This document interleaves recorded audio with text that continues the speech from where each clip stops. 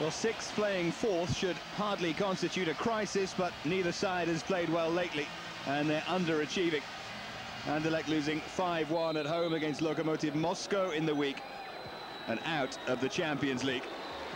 Illich with the effort from the free kick for Anderlecht after it was nil-nil at half-time. But then, 63 minutes gone, Moreira finding Ernst and Moreira continuing his run here and making it 1-0 to Standard with a quite brilliant, brilliant goal. Standard were looking for their first victory at home against Anderlecht in 15 years. And they were 27 minutes away from getting it. De Wilde hapless once more.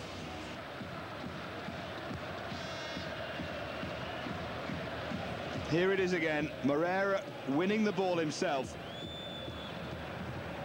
Ernst very aware. Fabulous strike.